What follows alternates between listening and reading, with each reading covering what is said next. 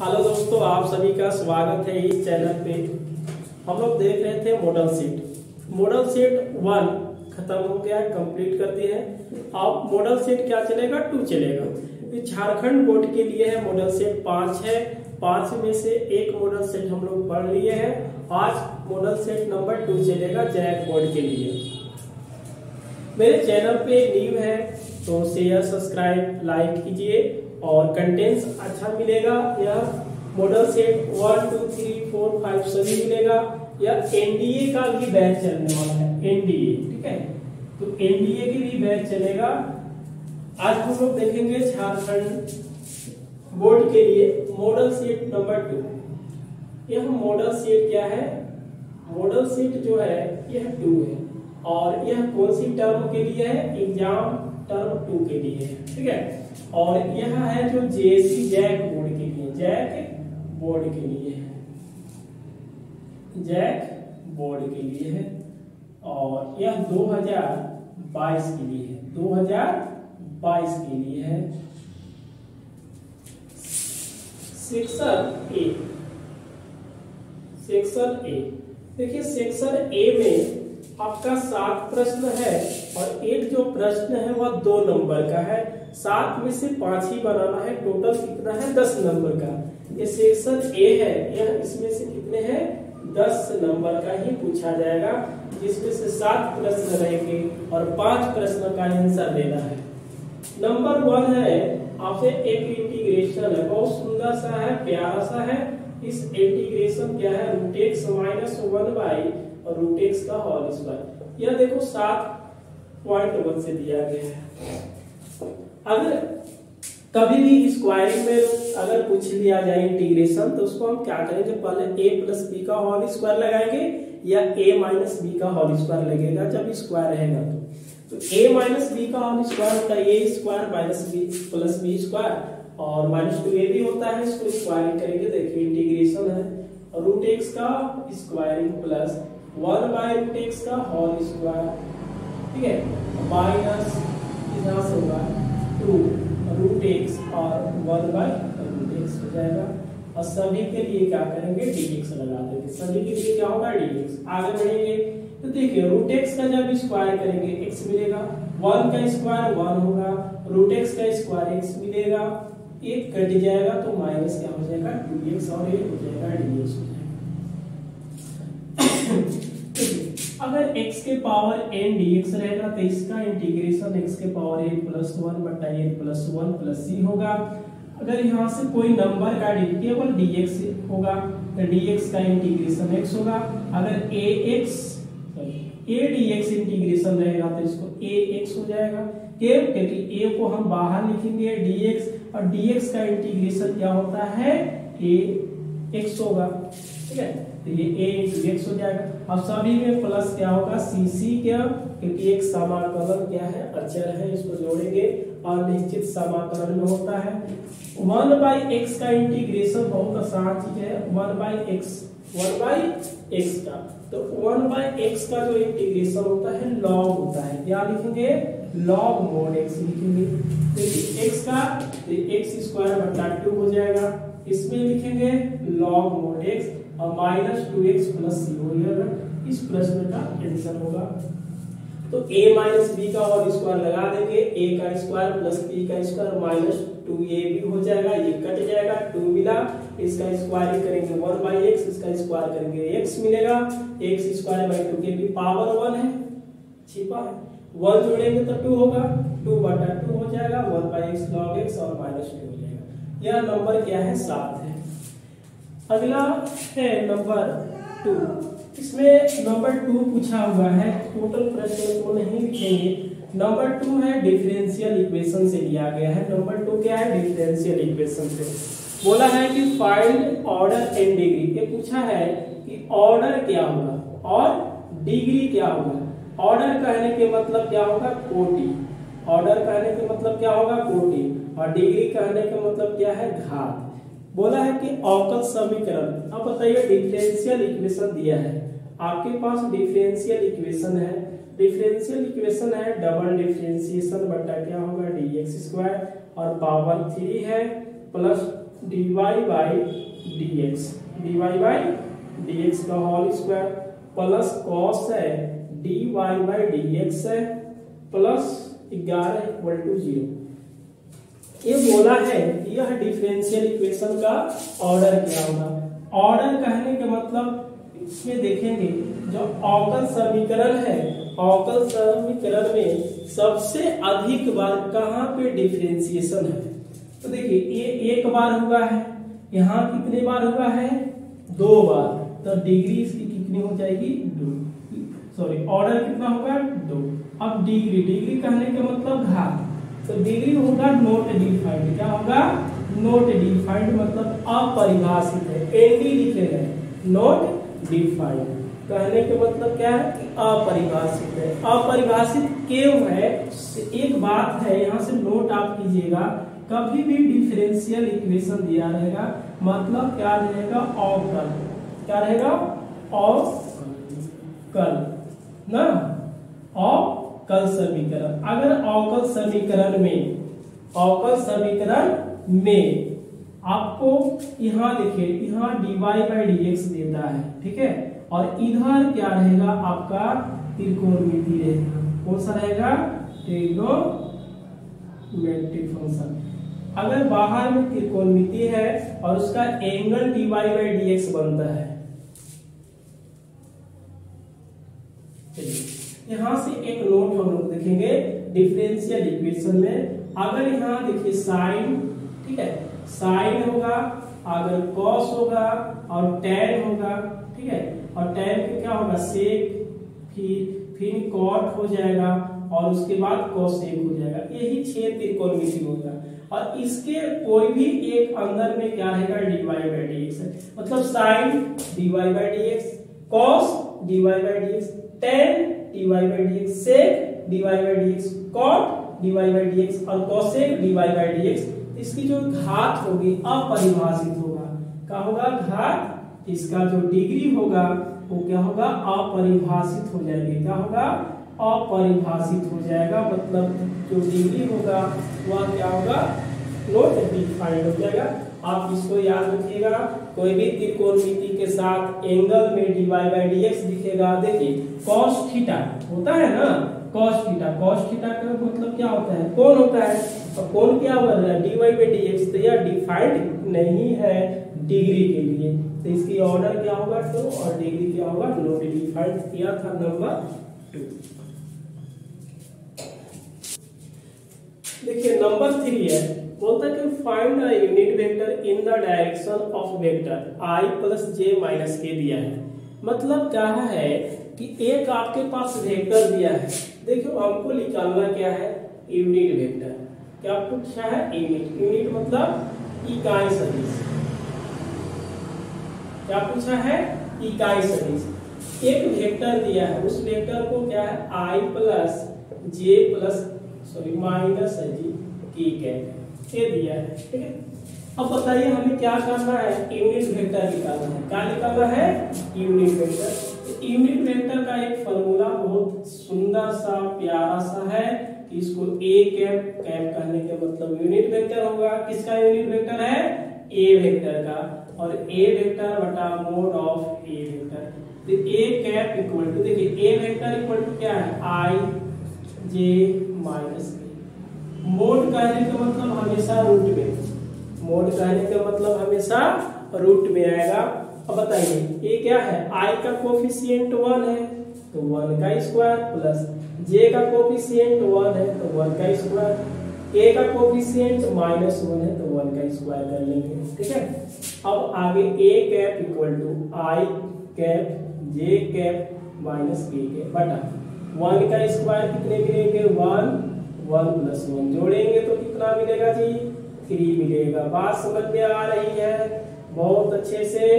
तो ये थ्री होगा। इस सदिश का क्या है? Unit vector. तो पूरे प्रश्न को नहीं लिखा जा रहा है। जो प्रश्न जैसा पूछा है, बोला तीसरा में कि एक सदिश दिया है। चलो एक सदिश दिया था। इस सदिश के बोला है कि इकाई सदिश क्या होगा? तो हम लोग इकाई सदिश का ये फॉर्मूला होता है। आप इसको याद रखिएगा। जब भी यूनिट वेक्टर पूछेगा तो। क्या होगा? जिस वेक्टर का निकालेंगे, वह ऊपर रहेगा, उसी वेक्टर का क्या निकाल देंगे? मोड निकाल देंगे। फाइनल क्या हो जाएगा? इमेज वेक्टर था ये नंबर फोर है। थ्री था। अब देखिए नंबर फोर है। नंबर फोर क्या दिया है बच्चे? Find the value of lambda number four में बोला कि find the value of lambda for which the vector a vector और बी वेक्टर दिया है। देखिए। आपको लेमडा पूछा है, क्या पूछा है कि लेमडा है? और ए वेक्टर इक्वल टू दिया है three i plus j minus two a b vector equal to दिया क्या है? I cap plus lambda j cap और माइनस थ्री के कैप दिया है। यह दोनों जो वेक्टर है, वो लंब है। क्या है? लंब है। हम लिखेंगे फोर परपेंडिकुलर मतलब क्या होगा? लंब के लिए। किसके लिए? लंब के लिए। बताइए जी, लंब के लिए क्या होगा? लंब के लिए क्या आता है? दोनों वेक्टर का डॉट करवाएँगे तो हमेशा आंसर क्या आता है? ज़ीरो आता है। तो ध्यान से देखेंगे, नंबर फोर में लेमडा का वैल्यू पूछा हुआ है। दो वेक्टर है, दोनों वेक्टर आपस में क्या है? लंब है। यही कहा है। तो ए का वैल्यू क्या है? बताएँगे three i plus j minus two k cap है। डॉट, बी का value i plus lambda j minus three k cap और equal to zero. I dot i equal to one तो थ्री मिलेगा। J dot j equal to one तो one into lambda lambda मिलेगा। Minus minus plus तीन गुना k छ k dot k equal to one और equal to क्या होगा? ज़ीरो। बताइए लेमडा ये दोनों के जोड़ेंगे तो कितना आएगा? नाइन इक्वल टू ज़ीरो मिलेगा नाइन, और उधर चले जाएगा तो क्या हो जाएगा? माइनस नाइन या था तो नंबर फोर है, याद रखिए आप कि लेमडा के पूछा है, दो वेक्टर दिया है, दोनों वेक्टर क्या है? लंब है। तो लंब का कंडीशन यही होता है परपेंडिकुलर कंडीशन यही होता है। तो ए का वैल्यू रखेंगे और बी का वैल्यू और दोनों के आई वाले को आई के साथ जे वाले को जे के साथ के वाले को के साथ डॉट करवाएँगे, और तीन और छह, नौ उधर गया तो माइनस में यह था नंबर फोर फिर से फाइव है. फाइव में देखिए बहुत अच्छा दिया है. आज ही क्लास में बता दिया गया था कि एक्स एक्सिस पर जो डायरेक्शन होगा, ठीक है? डायरेक्शन को साइन पूछा हुआ है नंबर फाइव में पूछा है। आपसे पूछा है कि डायरेक्शन को साइन ना? और किसका? एक्स एक्सिस के। ठीक है? उसी तरह से डायरेक्शन को साइन और किसका पूछा है? वाई एक्सिस क्या पूछा है? वाई एक्सिस उसके बाद डायरेक्शन कोसाइन ठीक है? किसके लिए? जेड एक्सिस देखो, बहुत आसान है। डायरेक्शन कोसाइन और किसका पूछा है? एक्स एक्सिस पर क्या होगा डायरेक्शन कोसाइन तो बहुत आसान चीज़ क्या है? हम लोग इसको सीधा सीधी लिख देते हैं कि वन ज़ीरो ज़ीरो होगा। इसमें क्या होगा? तो ज़ीरो वन ज़ीरो होगा और ज़ीरो ज़ीरो वन होगा। ये कैसे होता है इसको हम एक देख लेंगे। देखिए, कैसे होता है? ये मान लेते हैं? ये थ्री का ग्राफ ये एक्स एक्सिस वाई एक्सिस और जेड एक्सिस किसी एक का बात करते हैं? मान लो कि यहाँ एक पॉइंट इसका नाम ए है। तो ये जो दूरी क्या है? ओ से इसका दूरी ए है। पॉइंट कितना बनेगा? ए ज़ीरो ज़ीरो क्यों? क्योंकि एक्स अक्ष पर वाई और जेड ज़ीरो होगा। होता ही है। एक्स अक्ष पर जेड का और वाई का वैल्यू ज़ीरो होगा। अब ये बताइए, इस पॉइंट का अगर हम डायरेक्शन पॉइंट तो देता है ना तो डायरेक्शन रेशियो लिखेंगे। तो डायरेक्शन रेशियो क्या लिखेगा? ए ज़ीरो ज़ीरो ठीक है? अब हम डायरेक्शन क्या निकालेंगे? कोसाइन निकालेंगे तो डायरेक्शन कोसाइन क्या होगा? डायरेक्शन कोसाइन एक्स एक्सिस पर क्या होगा? ए ही आएगा, देखो कैसे आएगा। इसमें हम लोग लिखेंगे, आप समझ रहे हैं बात को क्या कर रहे हैं हम? देखिएगा, कि डायरेक्शन क्या है रेशियो तो पहला बटा तीनों का स्क्वायर होता है ए स्क्वायर प्लस ज़ीरो का स्क्वायर प्लस ज़ीरो का स्क्वायर फिर दूसरा दूसरा बटा टोटल का स्क्वायर रूट में a square zero square zero square. Zero बटा a square, zero square zero square. आगे बढ़े। ए। देखिए तो ए का square plus zero plus zero होगा। ज़ीरो बटा ए का square, zero plus zero. Zero का स्क्वायर ज़ीरो होता है और यहाँ से क्या करेंगे? ज़ीरो बट्टा क्या होगा बताइए? A square zero plus zero आगे बढ़ेंगे। ए चलेगा, देखिए ए का ही स्क्वायर मिलेगा ज़ीरो बटा यहाँ भी तो ए का स्क्वायर मिलेगा। और ज़ीरो बटा क्या होगा? ए का स्क्वायर अब बताइए, जब रूट से बाहर आएगा तो ए ही तो मिलेगा? और ये ए मिला और ज़ीरो बटा ए बताइए, इसको हम काटेंगे तो एक बार में कटेगा? ये क्या होगा? ज़ीरो। जब डिवाइड करेंगे तो क्या होगा बताइए? ज़ीरो होगा। तो एक इस पर आया। यह डायरेक्शन क्या है? कोसाइन तो ही है। डायरेक्शन कोसाइन ठीक है? डायरेक्शन कोसाइन है। ऑफ़ इस पर? एक्स एक्सिस ऑफ़ ऑन लिख सकते हैं? इस पर एक्स एक्सिस तो इसी से तरह से हम क्या करेंगे? वाई एक्सिस निकालेंगे और जेड एक्सिस तो वाई एक्सिस पर मान लेते हैं पॉइंट बी बी तो ज़ीरो बी ज़ीरो होगा। क्योंकि वाई पर एक्स और जेड ज़ीरो इस वाले पर ज़ीरो ज़ीरो अस्सी जब इस दोनों का सॉल्व इसी तरीका से करेंगे तो ये मिल जाएगा तो यह था नंबर फाइव का डायरेक्शन को साइन एक्स एक्सिस पर वाई एक्सिस और जेड एक्सिस पर क्या करना है कि एक्स का बात होगा तो वाई और जेड ज़ीरो वाई के बात होगा तो एक्स और जेड ज़ीरो जेड के बात होगा तो एक्स वाई ज़ीरो हो जाएँगे। और इस तरह से भी बना सकते हैं तो यही रहेगा डायरेक्शन को साइन एक्स एक्सिस पर वाई एक्सिस के भी बनाएँगे तो इसी टाइप के बन जाएगा। यह नंबर था फाइव सिक्स था। यह नंबर क्या था? सॉरी सॉरी यह नंबर छ था। ठीक है? ये नंबर क्या है? छ था। नंबर फाइव को चला गया ये भी छ क्या? ठीक है? एक्स एक्सिस वाई एक्सिस और जेड एक्सिस पर पूछा है। पहले छ बन गया है। उसके बाद हम लोग फाइव भी देख लेते हैं। चलिए, होता है नंबरिंग इधर से उधर। आप देख लीजिएगा। नंबर सिक्स बन गया, लेकिन नंबर फाइव भी देख लेते हैं। देखिए फाइव बोलता है कि if a line makes equal angles with the x y and z axis मतलब कहता है कि एक लाइन है, यह एक लाइन है, और वह ऐसा लाइन है कि y और z और x से जो भी एंगल बना रहा है, वो इक्वल बना रहा है। कहने का मतलब a मेरा लाइन है, ठीक है? a क्या है? लाइन है। अगर a वाला y है तो y से जो एंगल बनाएगा वही एंगल कहाँ से बनाएगा? z से, और वही एंगल कहाँ बनाना चाहिए? X से। तो मान लो कि x का अल्फ़ा बीटा और गामा तो तीनों एंगल क्या है? इक्वल है। तीनों एंगल क्या है? इक्वल है। तो यहाँ पे देखिए क्या लिखेंगे। इक्वल एंगल्स ये खुद बोला है कि इक्वल है। अल्फ़ा बीटा गामा आपस में तीनों क्या है? इक्वल सिंस इसको थोड़ा छोटा बना देते हैं। सिंस देखिए।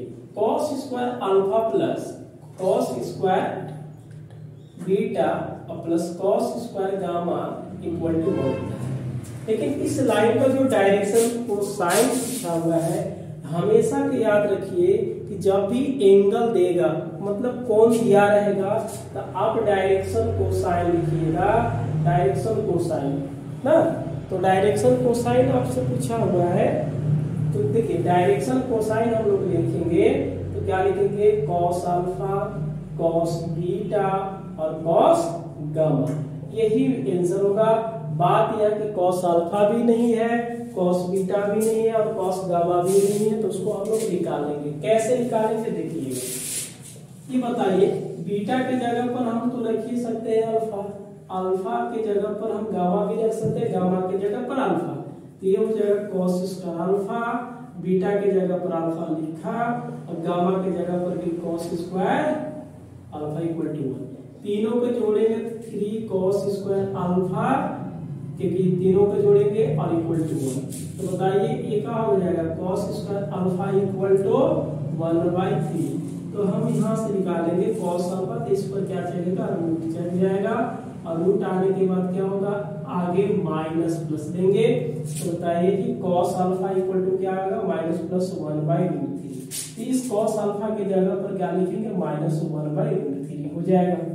लेकिन देखिए, अब अल्फ़ा अल्फ़ा इक्वल टू क्या दिख रहा है? अल्फ़ा इक्वल टू बीटा है। तो इस अल्फ़ा के जगह पर बीटा रखेंगे तो क्या रखेंगे? इसलिए cos बीटा इक्वल टू क्या आ जाएगा? Minus one by root three और cos, देखिए अल्फ़ा के जगह पर क्या रख सकते हैं? गामा गामा तो minus plus one by root three हो जाएगा।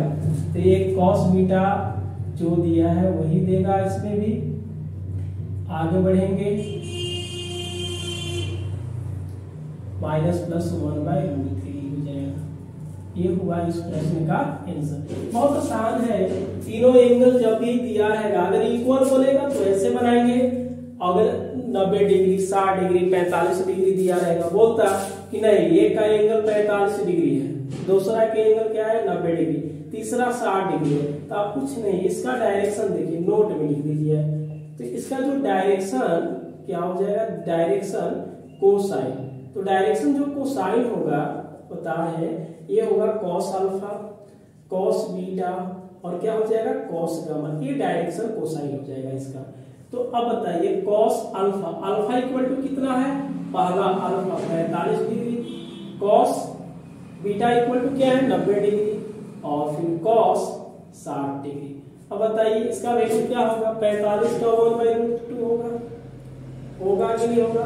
अच्छा कॉस नब्बे ज़ीरो और इसमें करेंगे तो क्या मिलेगा? वन बाई टू इसमें हम नोट डालेंगे कि जब भी ऐसा दिया रहेगा कि तीन एंगल दिया है और उसका डायरेक्शन को साइड बोलिए, तब सीधा बोलिए cos alpha cos beta cos gamma जो पहले आया वो अल्फ़ा जो बाद वाला आया बीटा और उससे भी बाद आया गामा पुट कीजिए, बाकी टेबल से वैल्यू निकाल इस टाइप का प्रश्न के बनाएँगे नंबर क्या है? फाइव है। अब चलेंगे हम लोग नंबर सात में, क्योंकि छह पद ही बन गया था मिस्टेक से।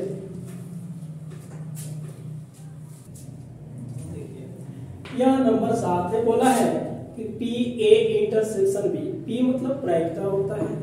क्या होगा? यदि हम दिया है। आप फ़ोन करते समय नंबर फुल लेना है तो गिवन डेटा को लिखना पड़ेगा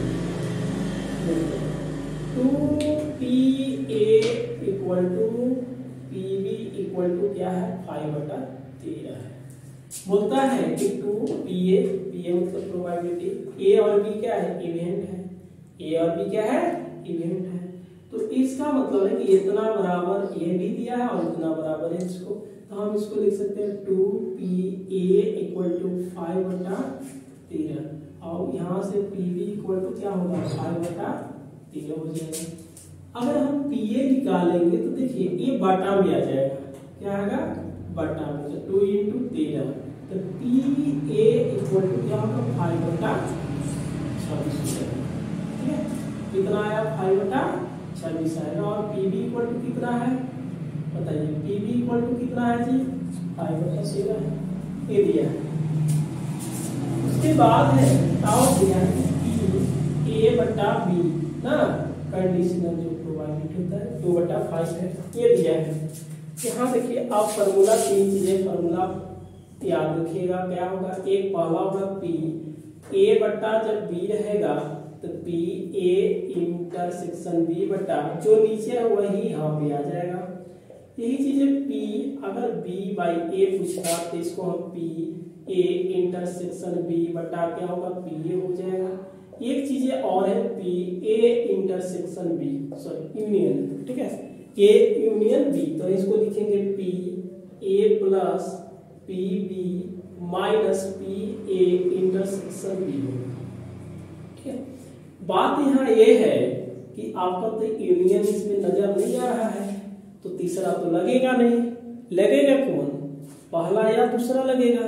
क्यों क्योंकि ये भी नज़र आ रहा है, ये भी नज़र आ रहा है, ये भी लेकिन ये भी कंडीशन है कि अब दो गो में से कौन लगेगा? तो देखिए, यहाँ क्या है? नीचे भी है तो कौन सा फॉर्मूला लगेगा? नंबर वन कौन सा लगेगा नंबर वन लगेगा। ये आप नोट कर सकते हैं, इसको आप नोट में डाल दीजिएगा, ठीक है? वी नो दैट ये होगा P, A बट्टा B equal to P, A, ठीक है?